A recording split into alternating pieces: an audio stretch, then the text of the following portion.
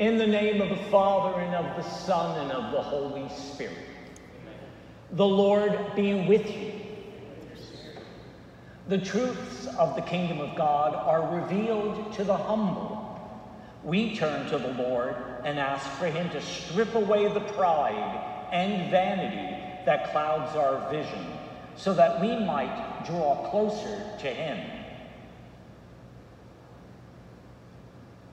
Lord Jesus, you are meek and humble of heart. Lord, have mercy. Christ Jesus, your yoke is easy and your burden light. Christ, have mercy. Lord Jesus, you are the way that leads to the Father. Lord, have mercy. And may Almighty God have mercy on us, forgive us our sins, and bring us to life everlasting. Glory to God in the highest, and on earth peace to people of good will. We praise you, we bless you, we adore you, we glorify you. We give you thanks for your great glory. Lord God, heavenly King, O God, almighty Father, Lord Jesus Christ, only begotten Son, Lord God, Lamb of God, Son of the Father, you take away the sins of the world. Have mercy on us. You take away the sins of the world. Receive our prayer. You are seated at the right hand of the Father. Have mercy on us. For you alone are the Holy One. You alone are the Lord. You alone are the Most High, Jesus Christ, with the Holy Spirit in the glory of God the Father. Amen. Let us pray. God, who in the abasement of your Son have raised up a fallen world, fill your faithful with holy joy. For on those you have rescued from slavery to sin, you bestow eternal gladness. Through our Lord Jesus Christ, your Son, who lives and reigns with you in the unity of the Holy Spirit, one God, forever and ever.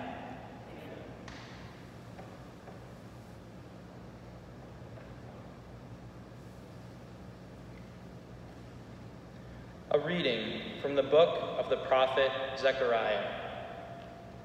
Thus says the Lord Rejoice heartily, O daughter Zion. Shout for joy, O daughter Jerusalem. See, your king shall come to you. A just Savior is he, meek and riding on an ass, on a colt, the foal of an ass. He shall banish the chariot from Ephraim and the horse from Jerusalem. The warrior's bow shall be banished, and he shall proclaim peace to the nations. His dominion shall be from sea to sea, and from river to the ends of the earth. The word of the Lord. Thanks be to God.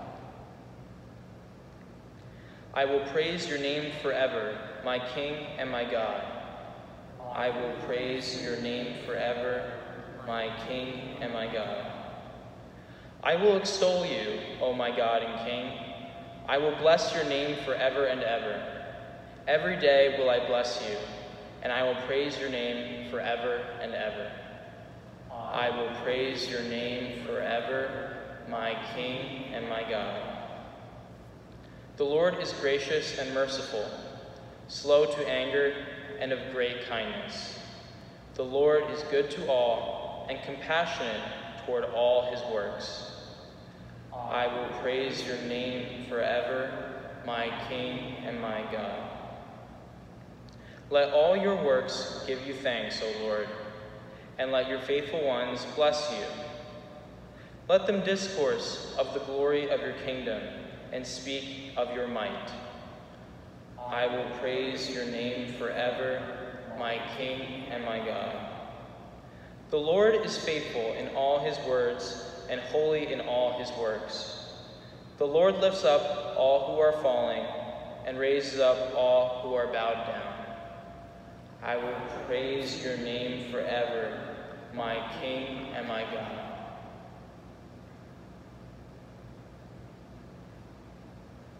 A reading from the letter of St. Paul to the Romans. Brothers and sisters, you are not in the flesh. On the contrary, you are in the Spirit, if only the Spirit of God dwells in you. Whoever does not have the Spirit of Christ does not belong to him. If the Spirit of the one who raised Jesus from the dead dwells in you, the one who raised Christ from the dead will give life to your mortal bodies also, through his Spirit that dwells in you. Consequently, brothers and sisters, we are not debtors to the flesh, to live according to the flesh. For if you live according to the flesh, you will die. But if you live by the Spirit, you put to death the deeds of the body, and you will live. The word of the Lord. Thanks be to God.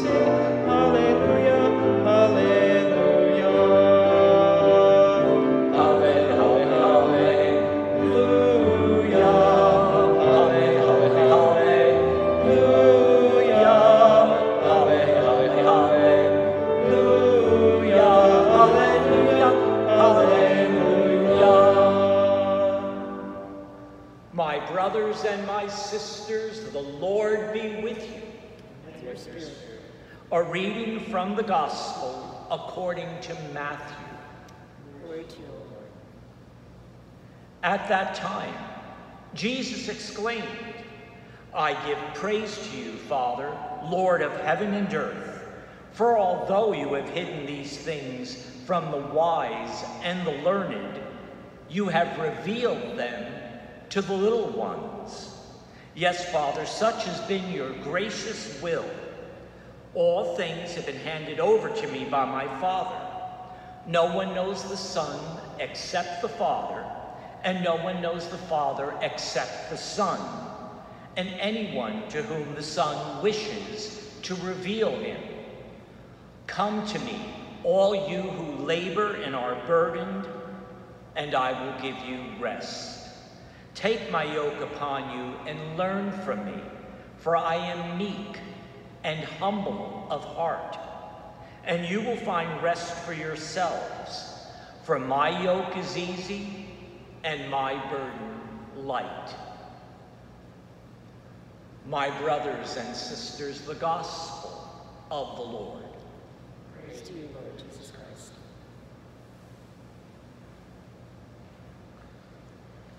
Today's gospel is familiar for us who do funerals all the time.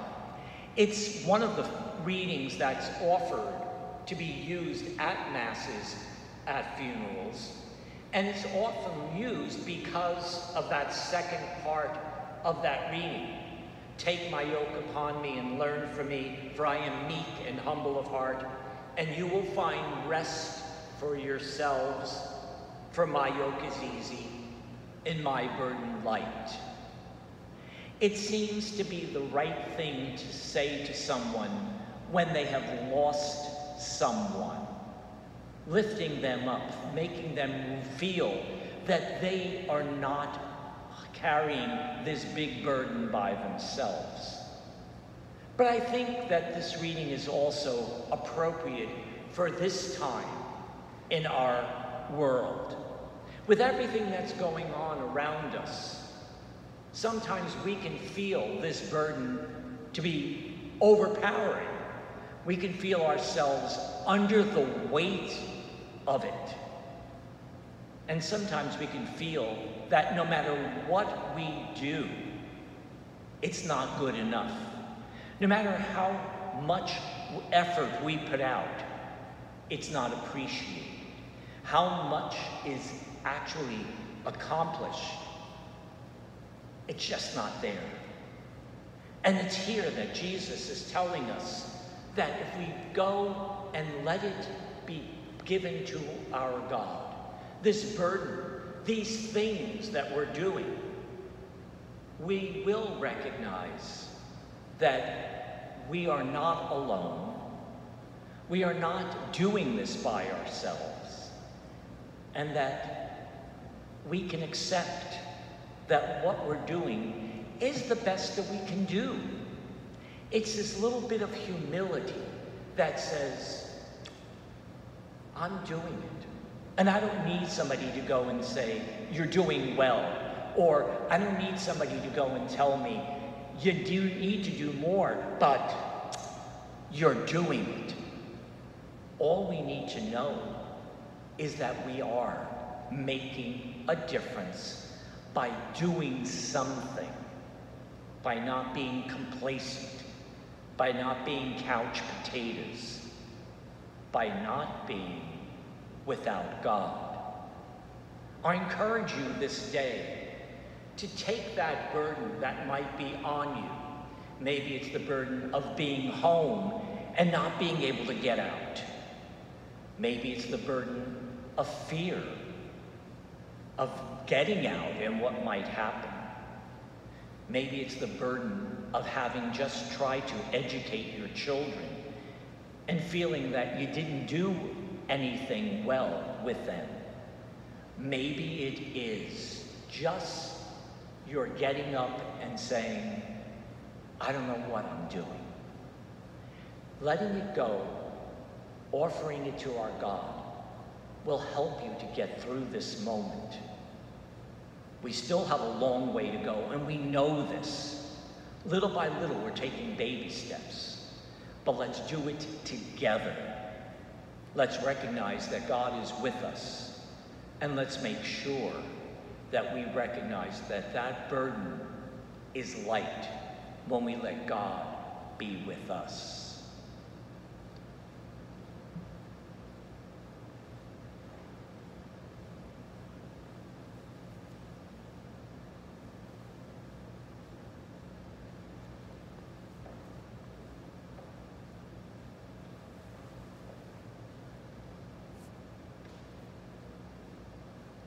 I invite you now to join me in proclaiming our Apostles' Creed.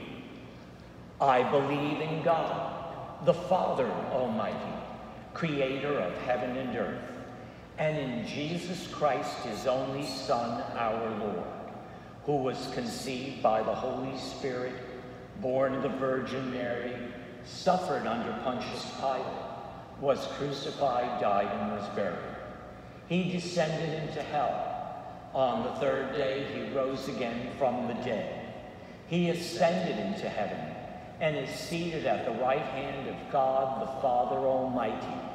From there, he will come to judge the living and the dead. I believe in the Holy Spirit, the Holy Catholic Church, the communion of saints, the forgiveness of sins, the resurrection of the body, and life everlasting. Amen. We come before God with our needs and our burdens, for we are promised that they will be lightened. For the church and all who exercise her ministry, may we grow in holiness by God's grace. Let us pray to the Lord. Lord, hear our prayer. As we celebrate the anniversary of our independence, may peace be, may peace be proclaimed in our country. Let us pray to the Lord. Lord, hear our prayer. For blessings and continued graces upon the lives of all of us gathered here, let us pray to the Lord. Lord, hear our prayer. That the prosperity of our country may reach the poorest among us, so that their burdens might be lightened. Let us pray to the Lord. Lord, hear our prayer. For the sick, may the healing touch of the Lord bring them healing and peace. Let us pray to the Lord. Lord, hear our prayer. For all who have died, may they come to share in the eternal life of the risen Christ, especially those remembered in our mass, in our mass intentions for this week. Let us pray to the Lord. Lord, hear our prayer. Loving God, hear our prayers and answer them according to your holy will. We ask you this through Christ our Lord.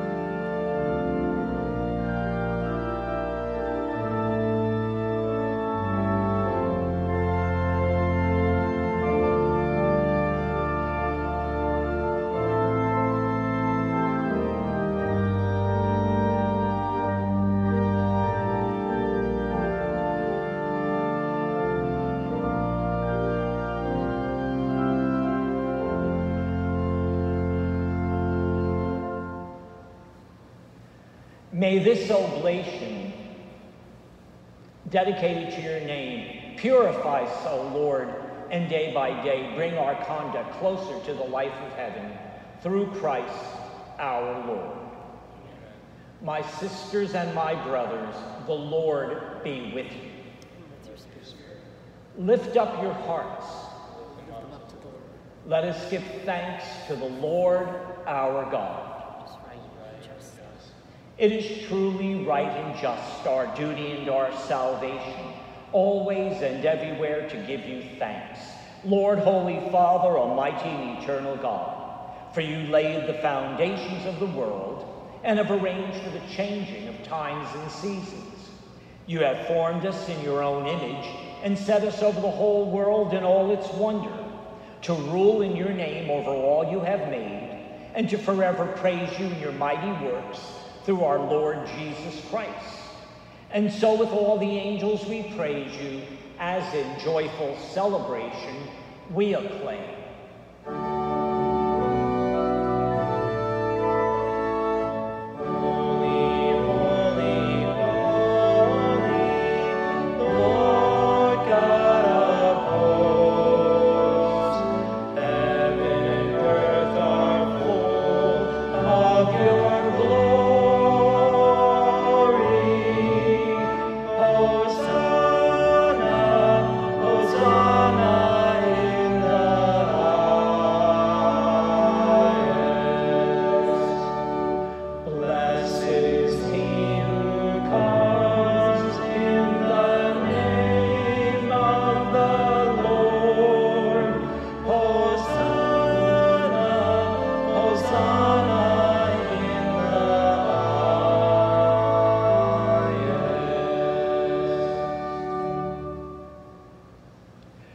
Are indeed holy, O Lord, the fount of all holiness.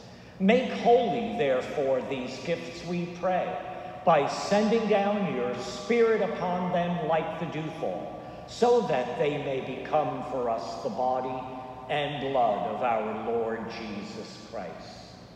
At the time he was betrayed and entered willingly into his passion, he took bread and giving thanks, broke it, and gave it to his disciples, saying, Take this, all of you, and eat of it, for this is my body, which will be given up for you.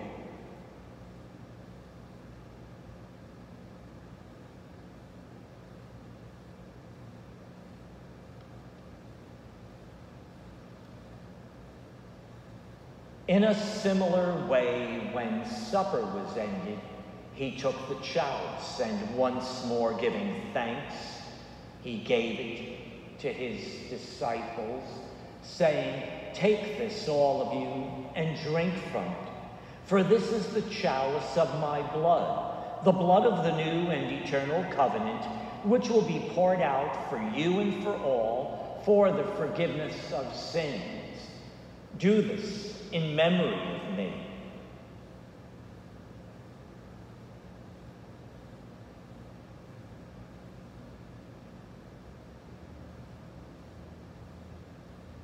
The mystery of faith.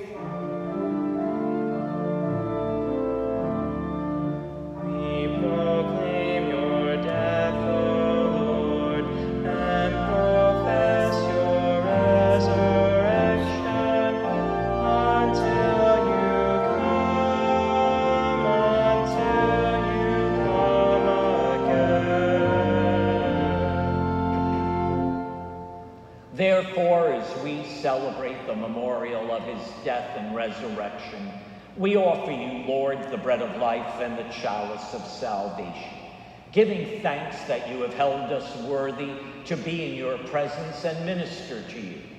Humbly we pray that partaking of the body and blood of Christ, we may be gathered into one by the Holy Spirit. Remember, Lord, your church spread throughout the world and bring her to the fullness of charity, together with Francis, our Pope, James, our Bishop, and all the clergy. Remember also our brothers and sisters who have fallen asleep in the hope of the resurrection, and all who have died in your mercy.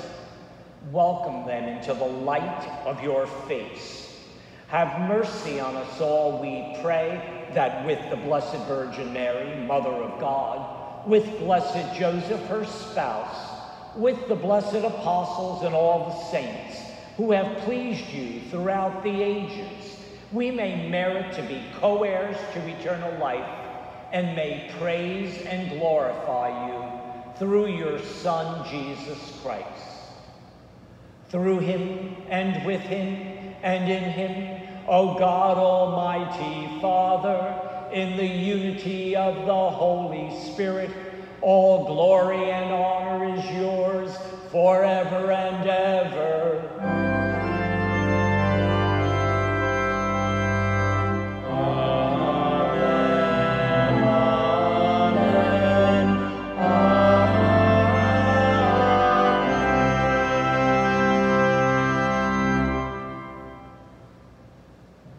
At the Savior's command, and as one family, we pray, Our Father, who art in heaven, hallowed be thy name. Thy kingdom come, thy will be done, on earth as it is in heaven. Give us this day our daily bread, and forgive us our trespasses, as we forgive those who trespass against us. And lead us not into temptation, but deliver us from evil. Deliver us, Lord, we pray. From every evil, graciously grant peace in our days, that by the help of your mercy we may be always free from sin and safe from all distress, as we await the blessed hope and the coming of our Savior Jesus Christ. Kingdom, the power, and the glory are yours, now and forever. Lord Jesus Christ, who said to your apostles, Peace I leave you, my peace I give you. Look not on our sins, but on the faith of your church, and graciously grant her peace and unity in accordance with your will, who live and reign forever and ever. Amen. The peace of the Lord be with you always. And with your spirit. And now we offer to one another a sign of Christ's peace.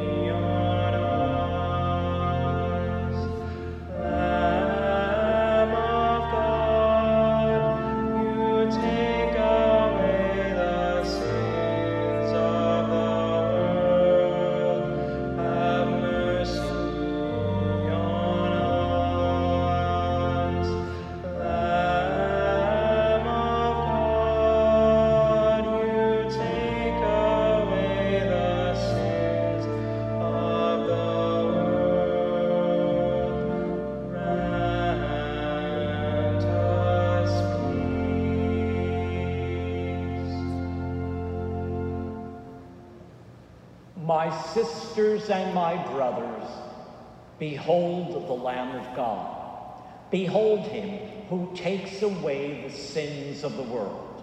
Blessed are those called to the supper of the Lamb. Lord, I am not worthy that you should come under my roof, but only say the word, and my soul shall be healed.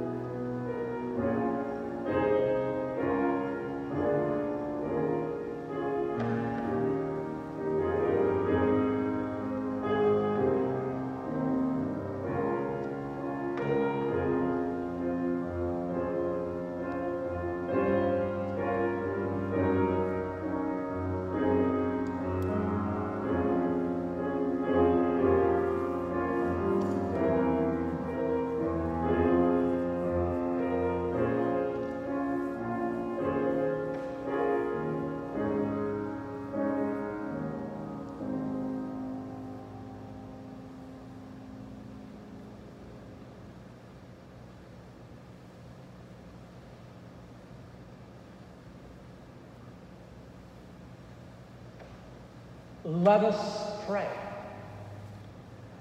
Grant, we pray, O Lord, that having been replenished by such great gifts, we may gain the prize of salvation and never cease to praise you through Christ our Lord. We wish all a happy Independence Day weekend. We ask you to take some time this week to celebrate this time of independence and to remember to say a little extra prayer for those who gave us this independence.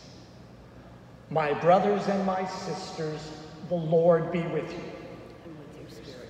May Almighty God bless you, the Father, and the Son, and the Holy Spirit. Amen. Go in peace.